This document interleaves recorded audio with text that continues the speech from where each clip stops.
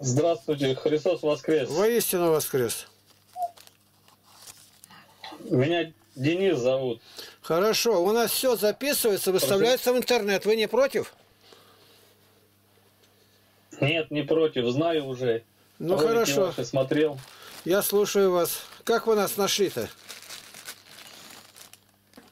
Нашел вас через Сергея парализованного. Сначала на него вышел, На ролике на его.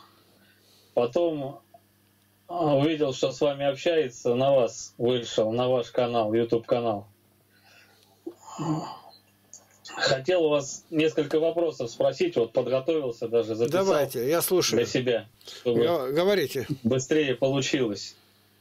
Вот. Я сам проживаю тут недалеко от Воронежа, в Липецкой области, город Мгм. Елец.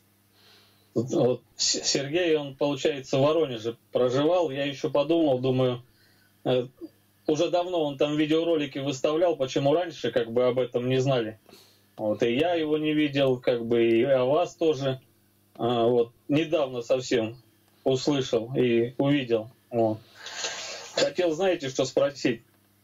Вот по поводу старообрядцев узнать. Вот вы сами со старообрядческой семьи Да. На- на- э, ну, часто упоминали. Вот почему старообрядцы вот этот вот домострой сохранили, вот, в отличие от, ну, грубо говоря, остальных русских, остальной русской части, потому что они ушли в леса и как бы это самое отделились, тем самым вот они этот домострой там сохранили, женщин своих как бы уберегли, вот, и сами не развратились, вот, и- или по какой-то другой причине, вот, э, как это можно в настоящее время внедрить вот, во всей стране, может быть, как-то, там, не знаю, воспитать поколение неиспорченное, современная молодежь. Вот, в чем, в чем секрет, как бы это?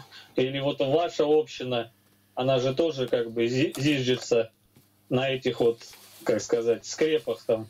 Вот. Все зависит от того, насколько человек искренне это желает. Если он желает, один раз увидел, записал и выполняй. Больше тут ничего не надо придумывать, это все просто делается.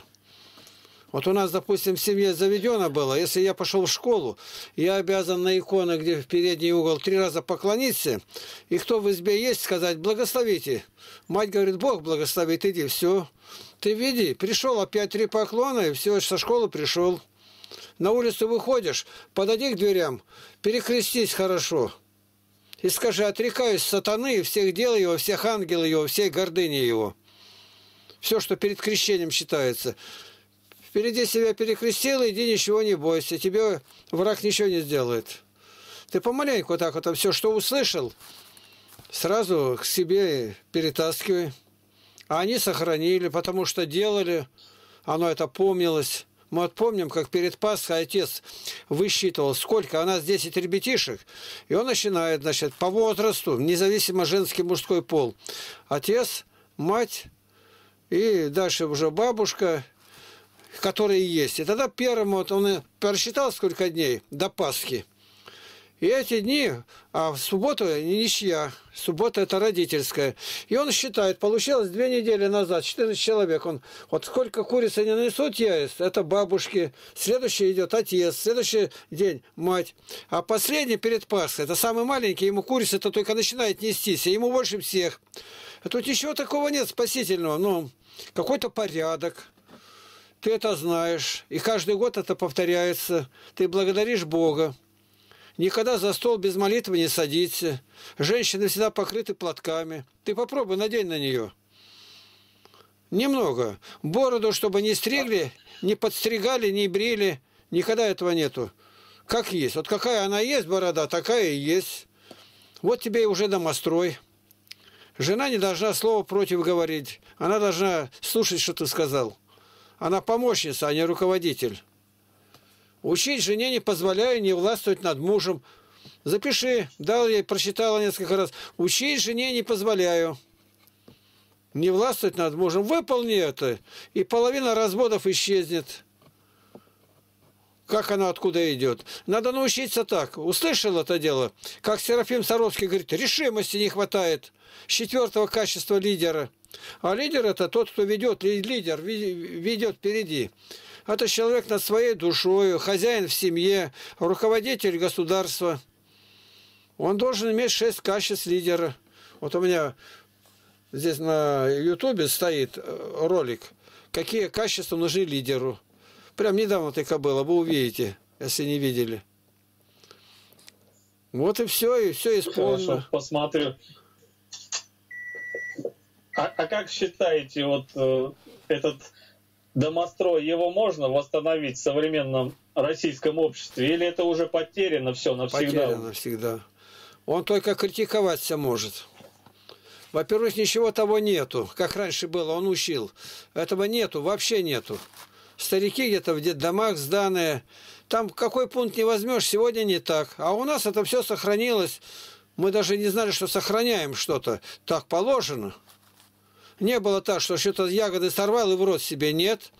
По одной малининке собираем. Разложили, вот это отцу, вот это матери, и чтобы пришел съел, это мы даже не знаем, как это так. И любое дело, ложиться спать, встали, всегда молитва, начало называется. Какие молитвы считать? В ребенка это вкладывается, это на уровне подражания. Надо... А эти... как думаете, детей стоит в современные детские сады отдавать, там, не я не знаю. Не вот стоит. у меня, например, сын, я его хочу, я его хочу в православную гимназию перевести из обычной школы, ну. потому что, ну, жалуется постоянно, как бы детишки там в основном вот из его класса больше половины семьи без отцов. Я еще удивился. В мое время у всех а там я, когда учился в школе 20 лет назад, родители были, папа, мама обязательно, а у них сейчас мамы только воспитывают, отцов нету больше, чем у половины, там человеку 20 из класса, у 15 нету отцов. Вот, и жалуется в плане того, что ну, он такой крепкий парень, э, так он в обиду себя не даст, но все равно рассказывает мне, не нравится мне, как сказать, вот этот дух там такой школьный, и, и как и учителя относятся, и как детишки между собой общаются, позоря друг другу. Один получает двойку, а другие над ним смеются всем классом, что он двоечник, там, глупый, недоумок и тому подобное. Вот. Я как бы... У нас православная гимназия в городе есть. Э, поначалу я его не отдал туда, в эту гимназию, потому что не хотел. Ну, там вот были у меня такие моменты, что там, ну, не знаю, может, это от чересчур сильного самомнения, там, от гордыни, там, про нашу церковь, что там с Папой Римским патриарх встречался, там, сергианство и тому подобные вещи. Думаю, чему его там научат? Лучше я его буду Богу учить. Как бы это самое, что знаю, то ему и преподам. Вот. Ну а теперь что-то хочу, наверное, из школы его забрать и в гимназию православную перевести. Как считаете, правильно это или нет? Думаю, что правильно. Думаю, что правильно. Ну, а младшую дочь в садик не хочу отдавать. Э, подумал, думаю, пусть и... лучше дома с женой. Бог дает правильно. пока работу, деньги. Я один зарабатываю, а жена дома сидит, детей воспитывает. А сколько детей? А сколько детей? Ну, двое так. Ну, так вообще я вырос один в семье. Мне всегда хотелось братьев, сестер. Не знаю, если Бог даст, я бы, например, бы еще бы завел бы как здоровье там и все. Ну, все ради двух ребятишек дома сидеть жене, я думаю, что это шика шикарно. Вот у нас отец без руки с войны вот так пришел, 10 ребятишек, и мать работала на ферме. А что бы она делала, сидела-то? Она рано встает, все приготовила, корову подоила, это отца собрала, и все, и идет, работает. А мы сами, ребятишки, все управляемся. А что ж ей сидеть-то? Ей скучно, и у нее мысли какие пойдут.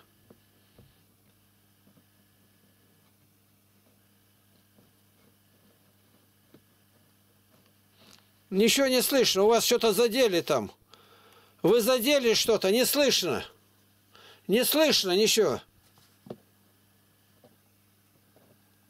Вы что-то там задели, видно, посмотрите. Что, не слышно? Не слышно ни одного слова. Нету ничего. Что там, посмотрите.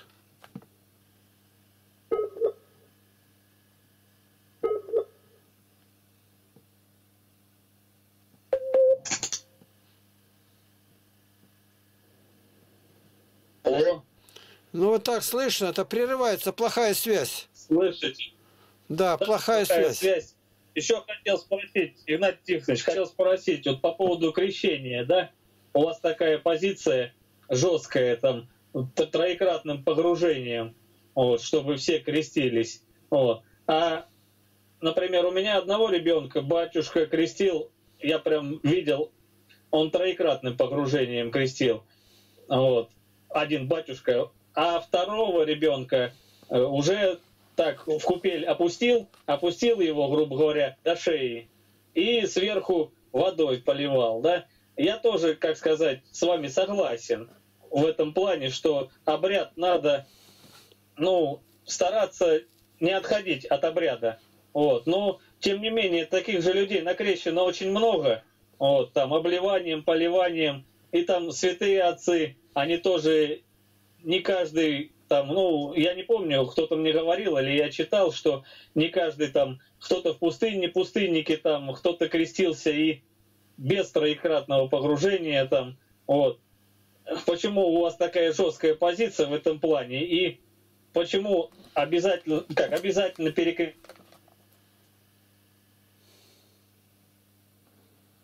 Ничего нет, не слышно. не обязательно меня, Игнат Тихонович. У нас разговор, разговора нету, потому что я половину не слышу. Она прерывает все время. Я по, по поводу крещения хотел спросить. А Вот, поч- почему э, считаете жестко? людей Крещение какое, что значит жесткое? Если тебе ты пищу жуешь, Ну, тебе по- про- проглотить надо жевать. Это жестко или нет? Так установлено. А таинство это Нет. таинство, глупо, это не обрядность, это таинство. А много людей сейчас крестят именно так вот. Так они не крестят, они обманывают. людей. Кре- Крестят означает погружают, они не погружают, крещения-то нету. Обман. Деньги взяли и больше ничего нету. Что значит жестко? 50 апостольское правило гласит, если нет три погружения, священник да будет извержен, выгнать его. Пираты захватили корабль.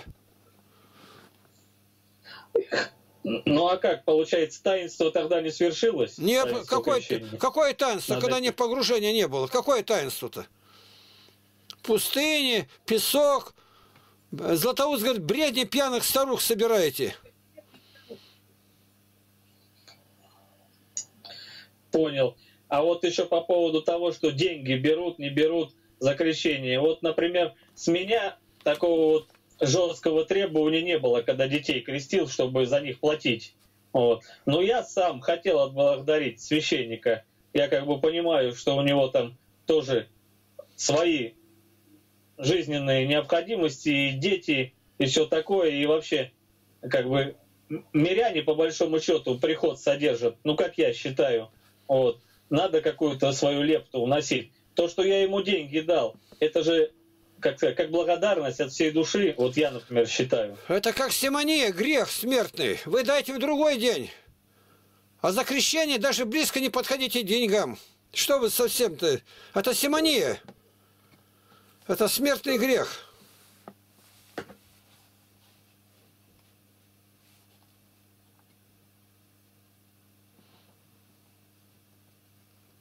Так, все. Отложить надо. Ничего не получилось разговора.